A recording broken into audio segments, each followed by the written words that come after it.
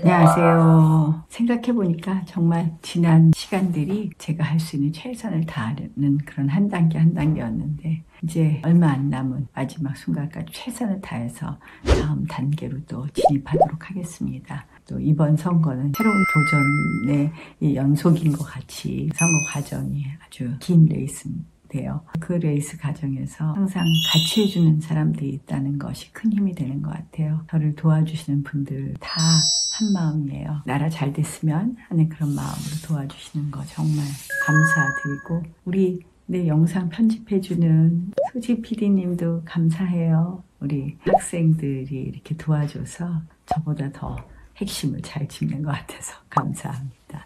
오늘은 주저리 주저리 감사하다 감사하다 하는데 오늘 마음이 너무 힘들어서 그래요. 하루 종일 계속 누군가 싸움을 걸어와서 피곤하더라고요. 터무니없는 이렇게 공격을 받을 때가 많은데 옛날 학교 다닐 때도 아유 내 마음 알아주겠지. 난 그런 얘기 그런 생각이 아니었는데 근데 그 상대방이 알아주는 게 쉽지 않더라고요. 그래서 요새는 남이 내 마음을 알아주겠지 보다는 싸움 피해가기도 하지만 또 아닌 이야기에 대해서는 내 입장을 분명히 내놓자. 그래도 오해받으면 빨리 알리고 제대로 이야기하는 게 맞겠다. 요새는 그런 생각을 많이 하네요.